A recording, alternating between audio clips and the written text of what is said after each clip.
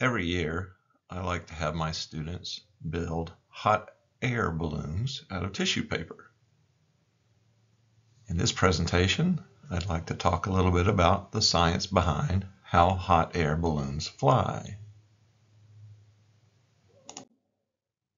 Or to put it more accurately, how hot air balloons float. They don't really fly in a technical sense.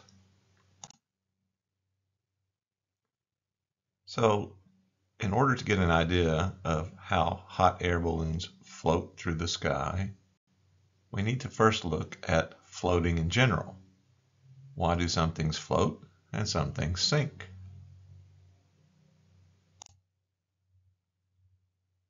When you put something in water, like say a beach ball, if you press down on it, you can feel the water pressing back up on you. That's called a buoyant force. The water in the pool exerts an upward force that's acting in opposition to the weight of the object or any additional forces like you pushing. And so whether something floats or sinks, it's really determined by just two things, those two forces, the buoyant force upwards and the weight or additional force downward. Now we're talking about floating, so we're going to ignore any additional forces. Basically, if the buoyant force is greater than the weight of the object, then the object will float. If the buoyant force is less than the weight, then the object sinks.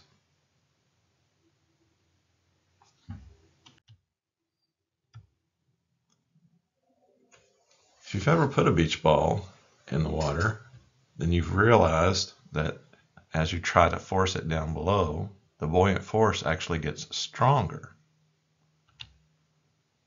So unlike weight, buoyant force changes as an object is submerged. The strength of the buoyant force on an object depends on how much of the object you have underwater.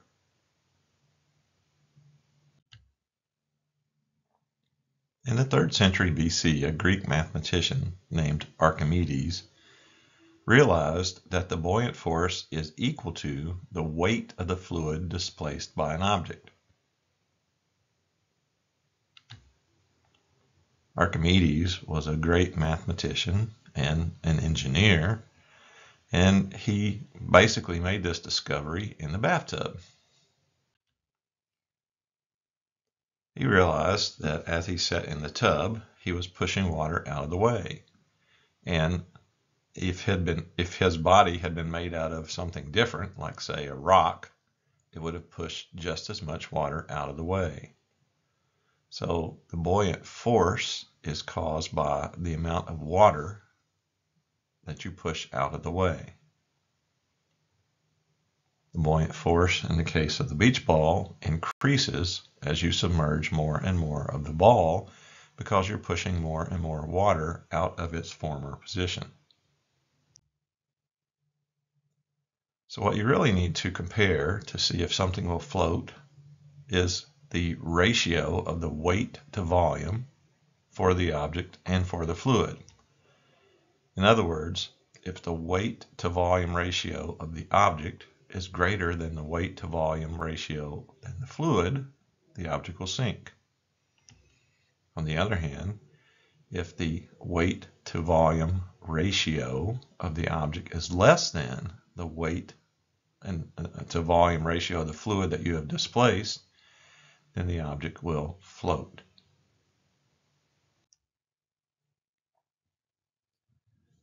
Think for a moment if you had a pool of water imagine that you had a sphere of water somehow um, being held together all by itself. That water would weigh something. Now, if you replace that sphere with an equal sized object, it would also weigh something. The submerged object would feel a buoyant force equal to an amount of weight of the water that had been displaced. This is called Archimedes' principle.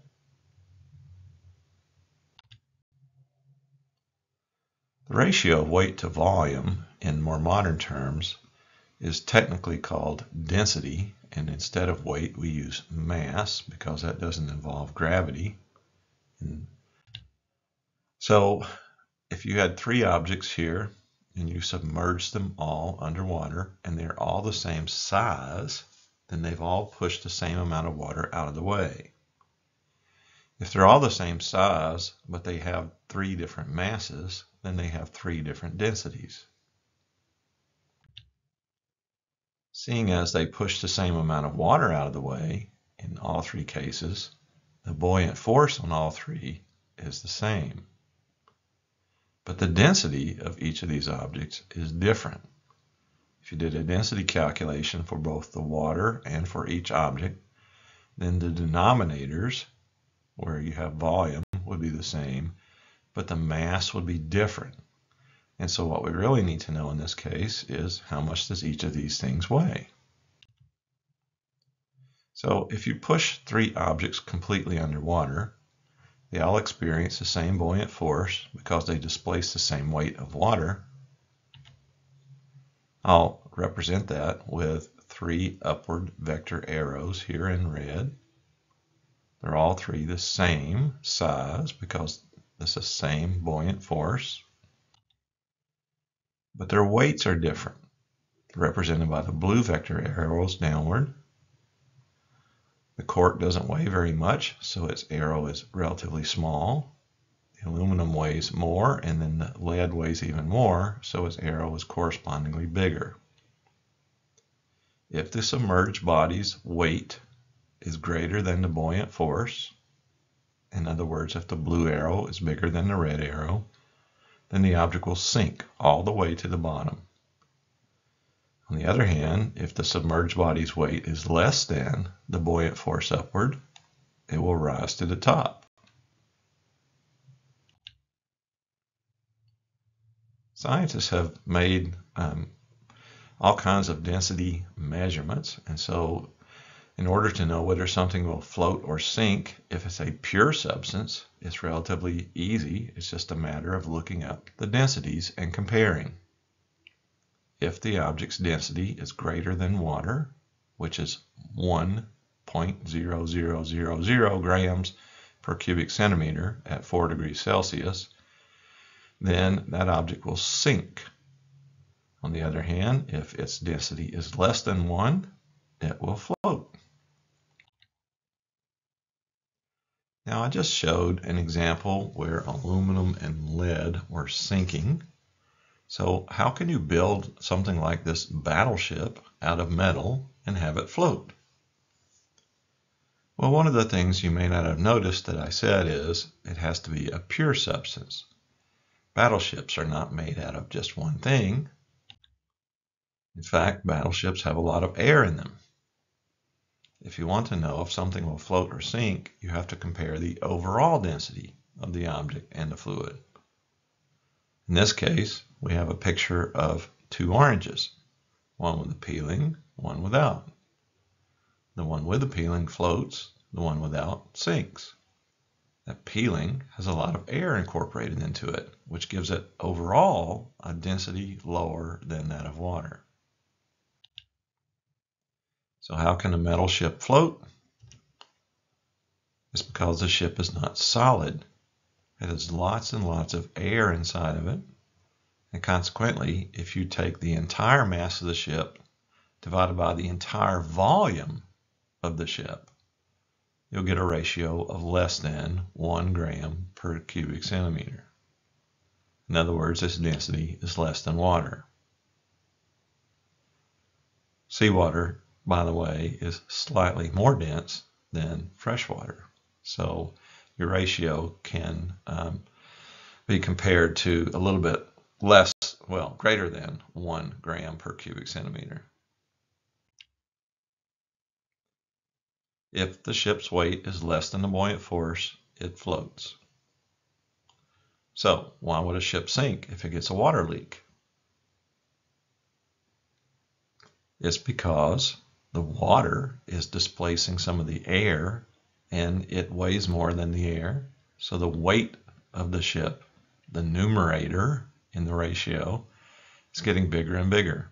And if that numerator gets greater than the density of the seawater, then the ship will sink.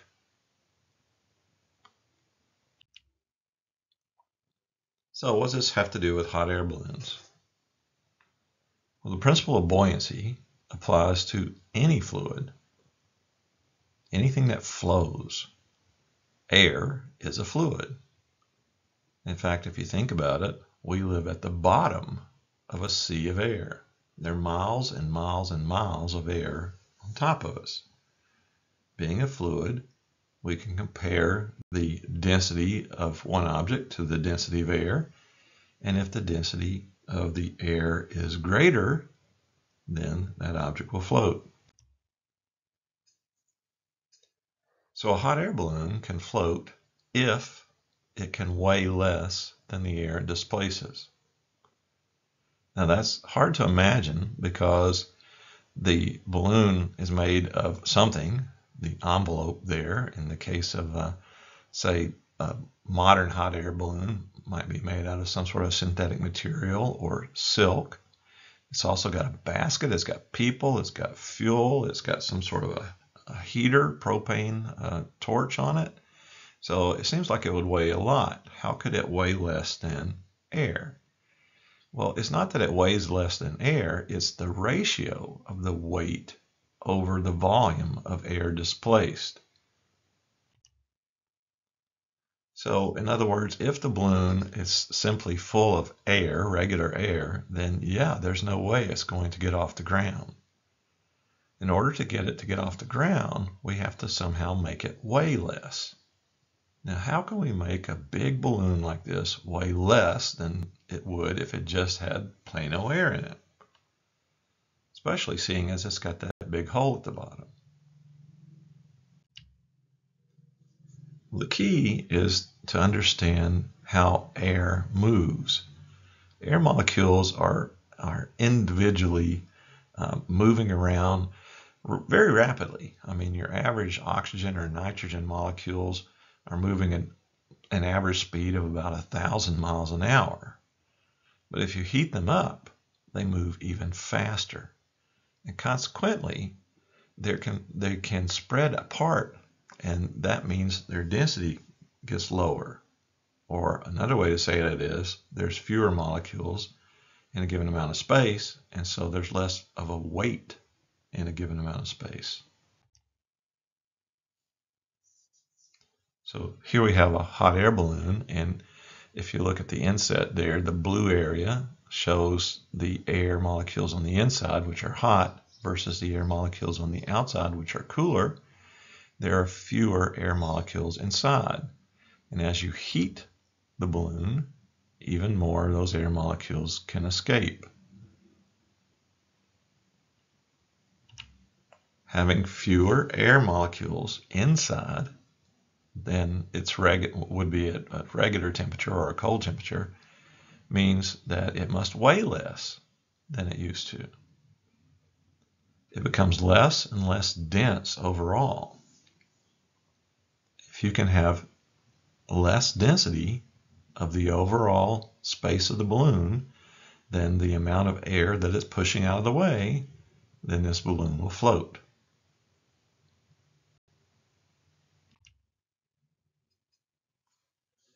So balloons can go up until the weight of the displaced air equals the total weight of the balloon. At that point, it would not rise any further. If at any point it weighs more than the surrounding air, it's going to sink. Now again, I, I use the word weight, but you have to remember what I, I'm trying to emphasize is how much air in the same amount of space would weigh. So we're always really comparing the density. If the density of the balloon is less than the density of the air, then it can float. If it's the same, then it will still float. It won't go up or down. It can be pushed around by the wind, I suppose. If, it, if the density of the balloon is greater, then it will sink. So the rule of floating or Archimedes principle is relatively simple. Whenever an object is less dense than the surrounding fluid, it will float.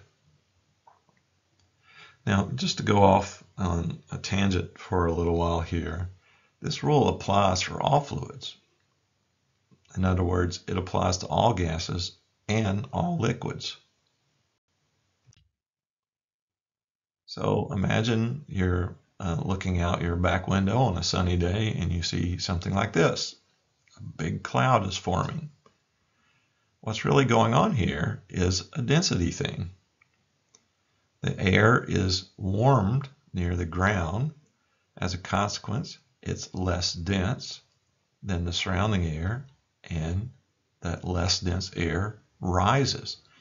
It's not inside of a, a synthetic material envelope, but a bubble of air can rise just like the hot air balloon can.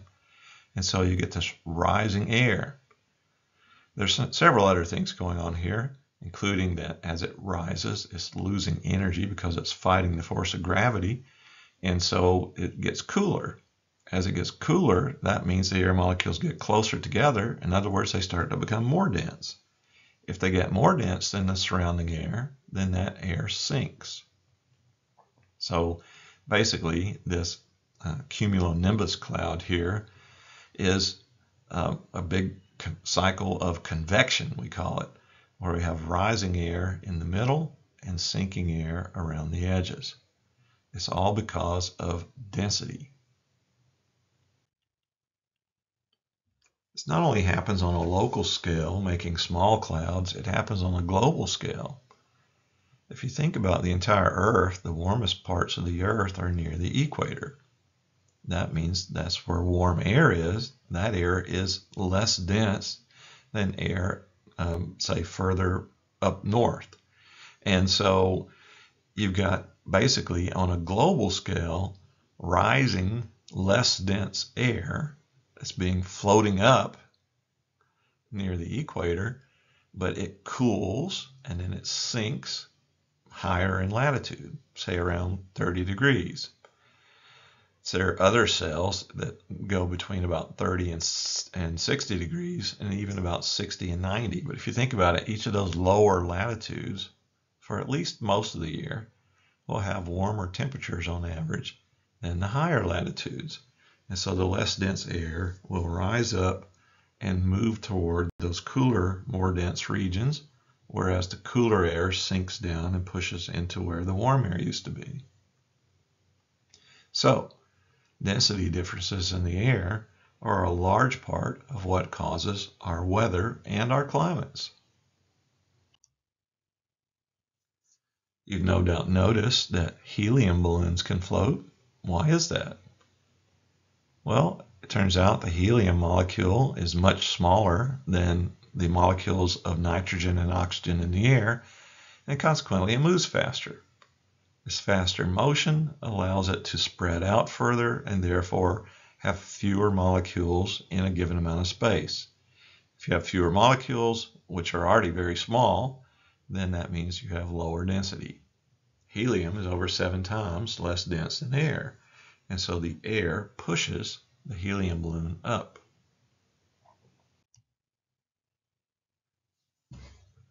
Fluids include both liquids and gases, and the principle of buoyancy applies to both. So if you have something like this soda pop here, you might notice there are bubbles in it and they rise to the top. That's because the density of the gas bubbles is less than the density of the surrounding liquid. So the density of the gas bubbles means that they will float. They rise up. We see it as a rising motion, but in fact they're floating. You know, if you look at this picture for a moment, you'll also realize you see something else that's floating. Ice. Water has a very unusual property. At about 4 degrees Celsius, instead of getting more dense as it gets colder, it actually starts to expand slightly. It expands about 10% between 4 degrees Celsius and 0 degrees, where it freezes because it expands, That means there are fewer molecules in a given amount of space. In other words, its density is less than the surrounding water. And so ice uh, will float in water. Now, this applies no matter how big the ice is. It's not a matter of overall weight, it's the ratio of weight to volume. Seeing as ice is about 10% less dense than the surrounding water, one of the effects of that is that about 10% of the ice will stick up and 90% will be below the water. That 90% equals the weight of the water displaced. So you may have heard this saying, that's just the tip of the iceberg. And what that means is, is that if you're looking only at above the surface, then you're only seeing 10% of the problem. 90% of the problem is below uh, where you're looking.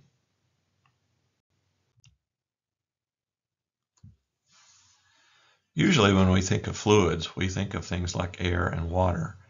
But even below the Earth's surface, there's molten rock.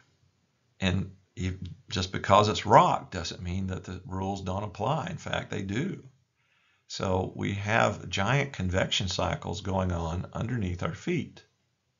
The core of the Earth is very, very hot. It heats up the rock and melts it.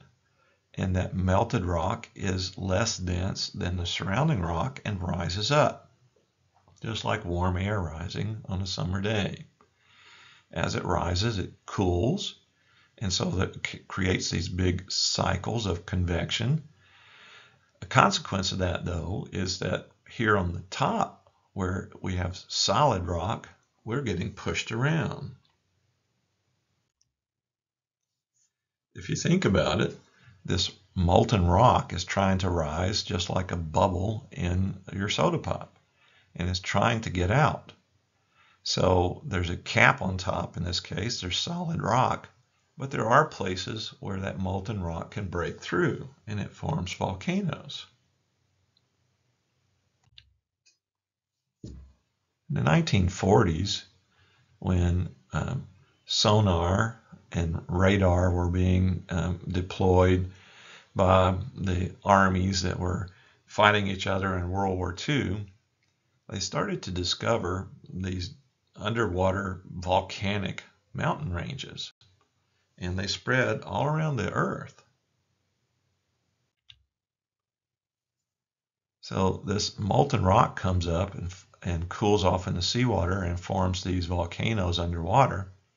They do actually stick up above the ground, above the water, excuse me, in some places like, say, Iceland. And so um, these ridges as these oceanic, mid-oceanic ridges, as they're called, are, like I said, found in all the different oceans all around the Earth in various places. One of the interesting discoveries um, not long afterwards is that if you take samplings of the rocks near the volcano, of course they're very young, but as you go further away, the rocks get progressively older. And so this these older rocks, we think, must have been formed at that oceanic ridge at some point and pushed away. In other words, the plates, as they're called, the tectonic plates, are getting pushed around constantly because of this less dense molten rock rising up, cooling off. We now know of more than a dozen of these tectonic plates. Now, if you think about it, they can't all be growing because then the earth would be expanding like somebody blowing up a balloon. So in some places, the plates are moving apart where they're being formed at these mid-oceanic ridges. But in other places, the plates are colliding. In some cases, they collide head on. And what has to happen there is one of them will get subsumed below the other. So which one goes down and which one goes up? It's a matter of density. The one that is more dense will sink, and the one that's less dense will float up or rise. At least it'll stay above the other one. So one that has continental rock typically will be less dense than one that has only oceanic rock which tends to be a little bit denser. So if you have two plates collide and one's oceanic crust and one's got continental crust, the oceanic crust will go down. Now, consequence of that is that it'll cause earthquakes, and also as it goes down, it gets hot and it melts, and so we have that molten lava again, which tries to rise up and get out, and so you can get volcanoes.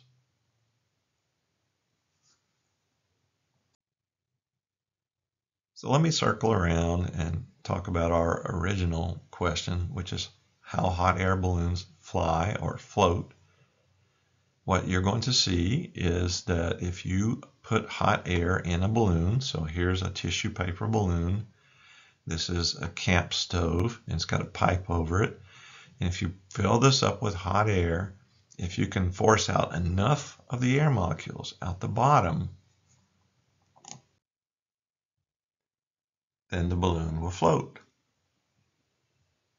It'll keep rising until its density equals that of the surrounding air that it's displacing. And that as it continues to cool off, its density is going to increase, and so it's going to come back down. Now, these things usually, uh, when we make them and we go outside on a spring day and fly them, they'll go maybe across the football field here, maybe 50, 60 feet high but occasionally they go even higher. A couple of years ago, I had one uh, that went so high it was unbelievable. So, in this picture, in the middle, you see an airplane. Well, in the upper right corner, you may not see it, but in that circle, there's a hot air balloon way up in that cloud. Do you see it? Isn't that crazy? They got caught in one of those convection cycles, uh, an updraft, where there was warm air and it really wasn't floating so much that at that point as it was getting pushed, and it just kept going higher and higher until it went out of sight. There it is, right there. But there you have it.